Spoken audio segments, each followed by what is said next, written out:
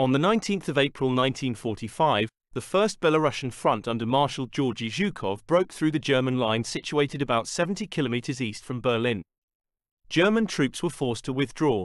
Some units moved southwestward into the area of Halbe and Märkisch Buchholz, between the positions of the First Belarusian Front and the First Ukrainian Front under Marshal Ivan Konev, both of which had pushed forward to the edge of Berlin. As of the 22nd of April 1945, the German forces were entirely encircled, and were operating within a shifting and ever more constricted pocket, which moved toward Halbe. The surrounded forces included the high command of the German Ninth Army led by General Theodor Busse. With them were thousands of refugees, local civilians and military dependents. The number of soldiers in the pocket is estimated at between 150,000 and 200,000. Busse gave the order to break out of the pocket. The goal was to reach the positions of the 12th Army under General Walther Wenck, and then jointly move to the west bank of the Elbe.